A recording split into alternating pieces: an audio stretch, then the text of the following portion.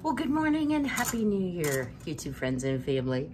I'm laughing a little bit because literally I have to do like a blooper reel because I have done about four starts. So, you know, being by myself a lot, especially with this pandemic, I don't talk a lot. So when I try to start talking, sometimes it just goes, but anyway, if you all went out last night, I hope you had a very safe and fun New Year's Eve celebration.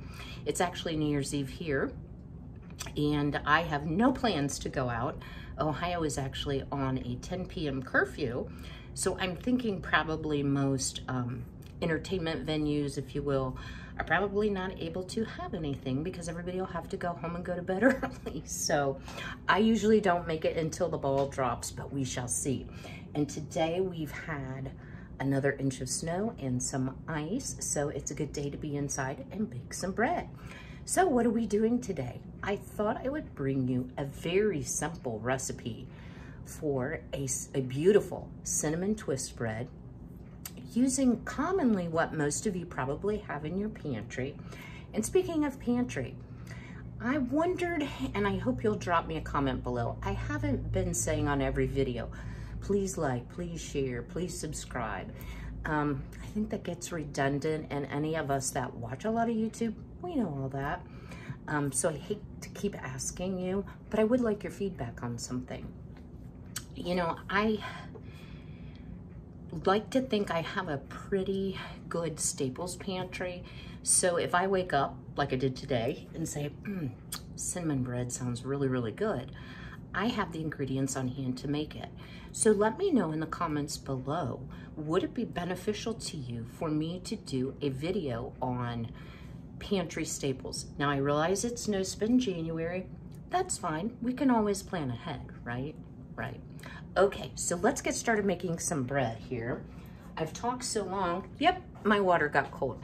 So the first thing you want to do, and I'll drop the recipe in the um, description box below, is you want a cup and a half of warm water. Now, y'all know it's really cold in my house. It's only 61 degrees in here. So I'm gonna pop this in the microwave for just a few seconds and I'll bring you right back. All right, well, we're back. so I've put in my mixer bowl here. Let me scoot you over a bit. And I'm really excited I should share this with you too. My new camera, which I'm not using, um, needs a little bit different tripod than what you use for an iPhone. And my son actually um, found me one that I just need to order ahead for. So as soon as I get my equipment more settled out, which may be the 1st of February since it's no spend January, I will definitely be using the new camera. So cup and a half of water. To that, you want to add two teaspoons of instant yeast. Now I'm using the SAF yeast and I keep mine in the freezer and I have never had a problem with it failing to rise as long as I keep it in the freezer. And you can buy this, and I know it's no spend January, but in case you're not participating or you need yeast and it's part of your exceptions, Amazon does have this. I've never been able to find it at my local Walmart. Okay, to our water and yeast, we're going to add two tablespoons of sugar. So we want this bread to be a little sweet, but not sicky sweet because we have some options for the topping as well. Okay, and then finally you wanna add about a tablespoon of honey. And I'm using raw honey for the health benefits. And I'm finally using for the first time my little wooden thingamajobber that I purchased from Pifer Orchard, and I did do a video on that. And I'm just kind of guesstimating the honey, to be honest with you. It's so sticky. I hate um, putting it in a measuring spoon and trying to get it out. So anyway, there you go. Okay. Now, I'm going to raise the bowl on my KitchenAid. Remember, whenever you're, if you have a KitchenAid, whenever you have the dough hook on, never go above a level two. I'm going to whirl this around for a moment while this is mixing, I am going to put on my KitchenAid sifter and scale attachment, which I'll share with you in just a moment. So hang tight. Okay, well to my KitchenAid mixer, I have put on my scale and sifter attachment and into the hopper, you need to put four cups of bread flour or 548 grams and one teaspoon of salt. So let me add the final cup of flour and then I'm gonna turn it on and show you uh, how it simply sifts and dumps in your flour. I bought this refurbished and I absolutely love it. So it was for me well worth the investment because I make a lot of bread. So I'm gonna let this finish sifting. I'll bring you back to talk about what we're gonna add next. Okay, y'all, real life moment. So, there's flour everywhere, including on the floor. So I walked away from the mixer, mistake number one, and somehow it vibrated the top off and um, yeah, flour went everywhere. So I really have no idea where I am on flour, but this is a good teaching moment to show you what to do if you have some sort of disaster like that. So let me clean this mess up and I'll get right back to you. We're back. And you know, technically, since I'm filming this on New Year's Eve, it is still 2020, but I really wish the camera would have been running because it was a total 2020 moment. It just went foof. So if you were to have an accident like that, what do you do? You know, how do you know where you are with your bread? And the answer to that is really pay attention to the texture. So I'm going to show you as we go along. I clean, as I cleaned up, I think it was only like a quarter to maybe a third max, but probably a quarter cup of flour. But I'm not gonna worry about that right now. I'm gonna continue to add my ingredients, see if it will come together as a dough ball, and then add bread flour as I need it. So to this crazy mixture that we've done so far, we're gonna add two tablespoons of softened butter. And yeah, here I thought, okay, today I pre-measured everything. It's gonna go so smooth. Um, yeah, no, that was a 2020 moment if there's ever been one. Okay, so we're gonna add our butter. Then you want to add two tablespoons of powdered milk, one teaspoon of cinnamon, and then about a teaspoon of vanilla. All right, so I'm gonna let this come together. Keep cleaning up flour, because I'm sure we'll be finding flour for a while. But you know, um, this attachment is wonderful and I love it. What the problem was is this knob I didn't tighten all the way down. Operator error. So I'm gonna give this dough a few minutes to come together. I'm gonna evaluate it and then I'm gonna show you what to do to fix my boo-boo.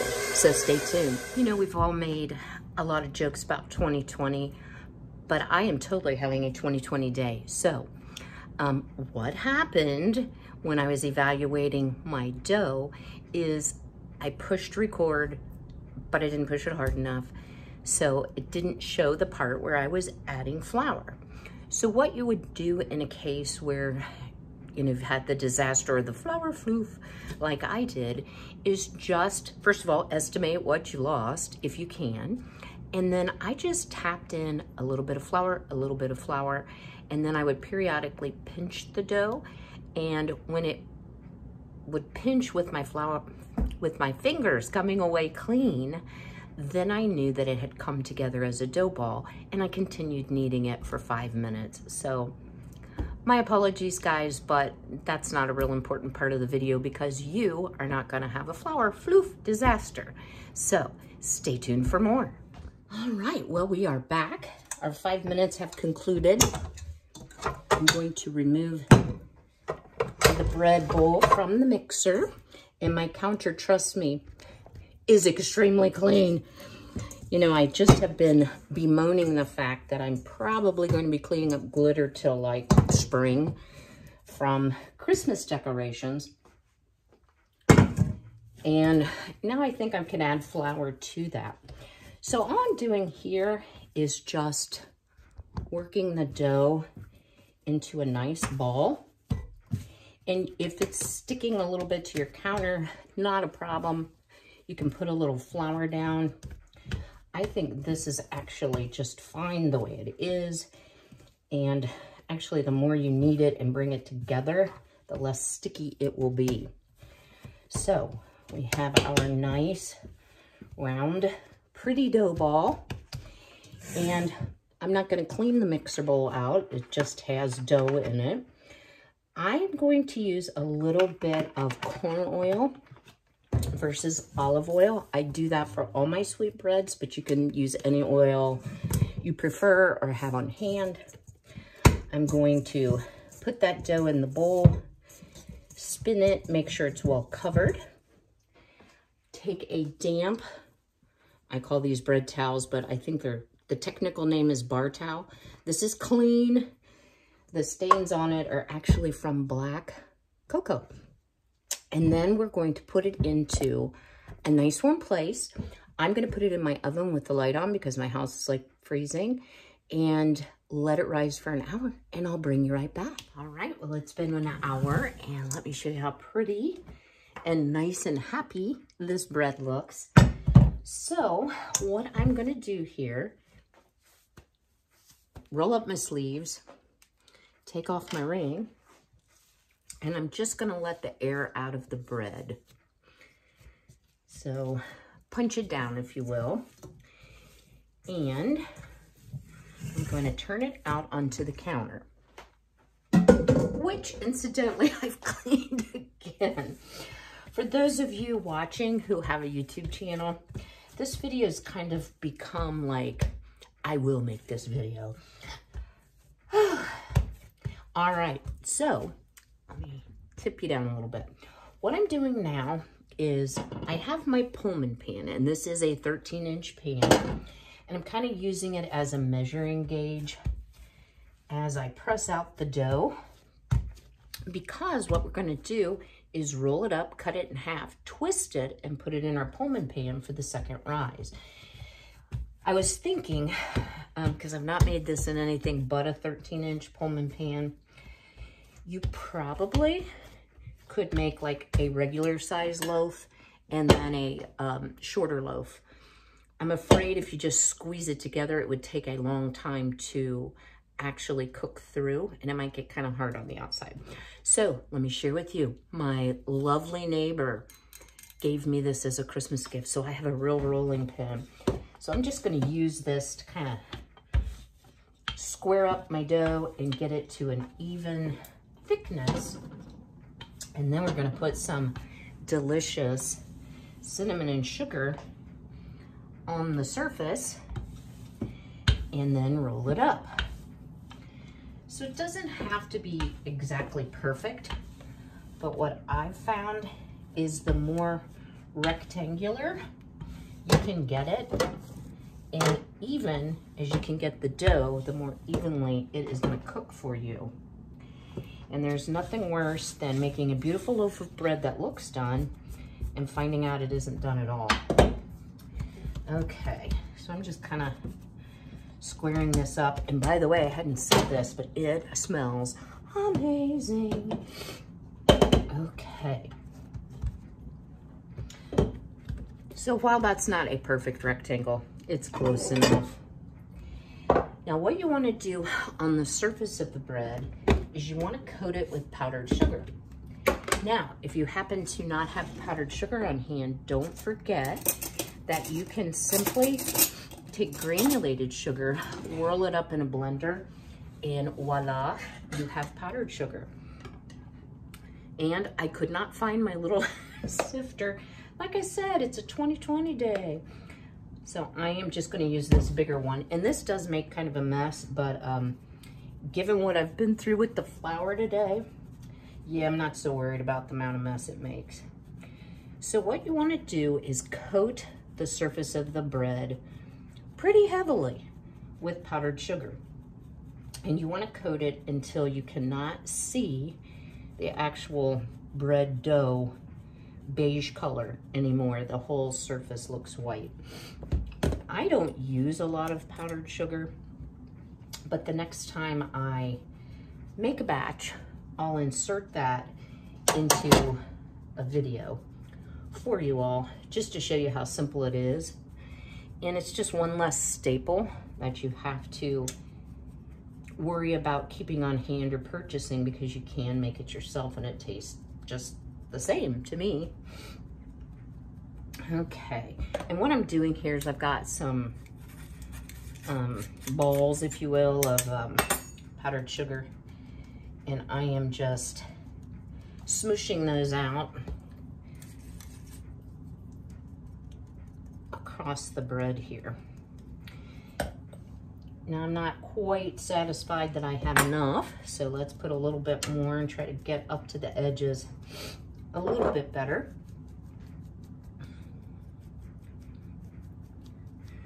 So do you all have a traditional New Year's Day meal? Are you a pork and sauerkraut person? I am gonna have pork for sure, but I don't have any sauerkraut. So I do have some cabbage, so I figure that's close enough to sauerkraut. So that is what I think I will be having based on my meal planning that I've done. So we're getting pretty close here. I'm probably being a little fussier than I need to be, but after my earlier debacle, I'm trying to redeem myself. Okay, so that looks pretty good. Just dump the end of that in there. And then you want to take your cinnamon, and I'm going to check the, the sprinkle top. I'm a little goosey after that flour floof. Thankfully, I wasn't doing a sponsored KitchenAid ad for the sifter slash scale attachment because that would have been disaster. All right, so you can kind of, I don't measure these. I just do it to look, really, till I'm satisfied that it's going to be cinnamon, cinnamony enough. That's hard to say. And we are gonna put some cinnamon sugar on the top after the second rise. Okay. Now what you want to do is roll this up tightly into a log.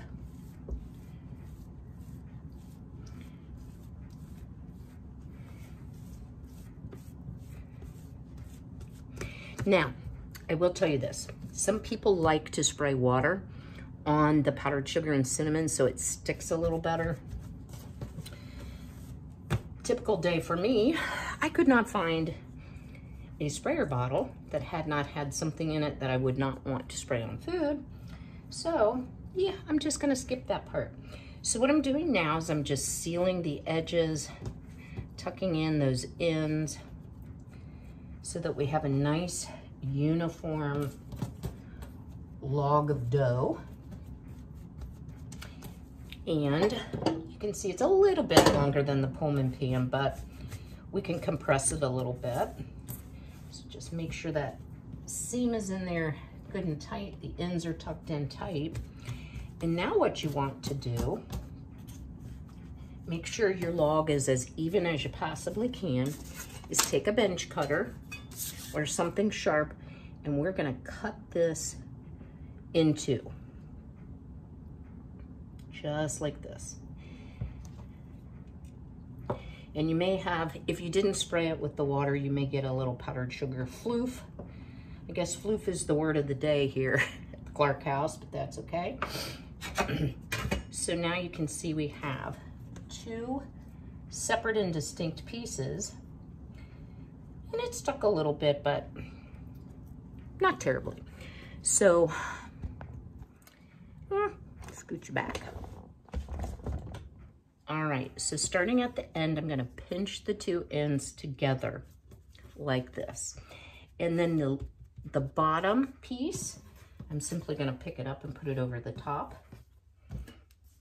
And I'm gonna continue down the length of the bread pieces, just twisting. And when I get to the end, and I didn't lose a lot of powdered sugar, I'm going to pinch together. And there you have it. Isn't that beautiful? And wait till you see it baked. Now, for those of you who aren't familiar with Pullman pan, let me just share a few pieces with you. I've done it on past videos. Pullman pans actually sometimes come with a lid. And where it got its name is they were used on Pullman train cars to make very square loaves of bread so they could stack more of them into the train car. It's a beautiful loaf pan, very well worth the money. And I'll try to drop Amazon links to uh, the, both the Pullman pan as well as the KitchenAid sifter mixer attachment if you um, are still interested after the floof. But again, that was operator error. So what I'm gonna do here is just pick up my loaf and put it into the pan. Okay. And you wanna kind of make it pretty and get it even, but that actually went in there very nicely. So there you have it. Isn't, doesn't that look delicious? So now what we need to do is cover it again with our damp bread towel or bar towel. I'm going to let it rise again for another 30 to 45 minutes until it has increased significantly in size and I'll bring you back to show you what that looks like. All right, this bread is happening finally. So look how lovely and large our cinnamon twist bread has gotten. And I actually left this for 40 minutes, just to give you a point of reference. now, on almost all of my breads, even savory breads, not sweet breads, I like to do an egg wash because it makes a lovely shiny top, um, produces a nice crust, so I really like that. So what I've done is just beaten up an egg with a tiny bit of water and I am going to coat the top of this gorgeous bread. And you do want to be careful not to deflate it as you're brushing the egg on. So you just want a nice even coating and then you have some choices. So you can totally bake this as is and put an icing on it if you like something really sweet and decadent. Or what I'm going to do is I made a little mix up here and I'll share the ingredients with you in just a moment. Um, cinnamon and sugar with a little kick that I'm gonna put on the top of it.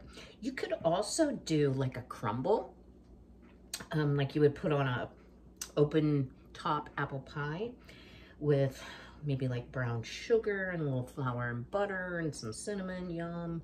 So really your options are open as to what you might wanna do. So what I'm going to do is I made a mixture of just plain table sugar, granulated sugar, some cinnamon, a tiny bit, and I mean a tiny bit of ground ginger. Too much of this can really feel spicy and overwhelming on the tongue.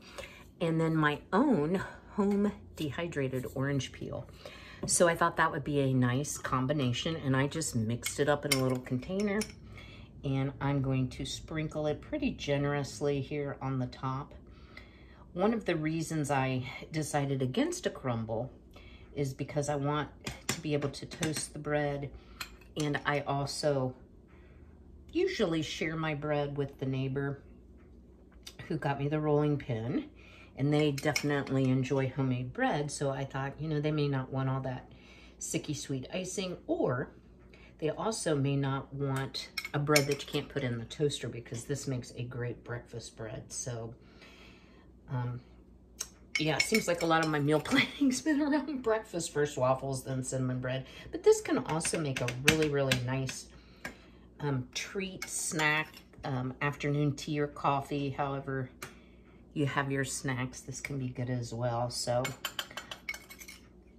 I am just using up what I made up and it's sticking really well with the egg wash we put on. And then kind of as a final hurrah, I am going to put a little bit of sanding sugar. Again, checking that, that lid, just so it's sparkly and holiday-ish because I will probably take it over for New Year's. Alrighty, so into a preheated 350 degree oven, 30 to 35 minutes. I've shared before my oven is slow. I do have it on convect. So I'll bring you back at the end to show you the finished loaf and to let you know how long it took to bake. All right, well, we're finally finished. Look, guys, at this gorgeous bread. So I actually ended up baking mine for 38, no, yes, 38 minutes. Um, I had taken it out and it wasn't quite done. So if you're unsure, let me bring the bread up closer. Woo, that's hot. If you can hear that hollow sound when you flick on the bread, you do want to check the middle of the bottom of your bread to be sure that it's completely done all the way through. But I hope you've enjoyed this. I hope this is something you'll give a try to. Don't forget to leave the comment below about pantry staples. And I hope you all have a very safe and happy new year. Be well, be healthy, be blessed, and I'll see y'all very soon. Take care.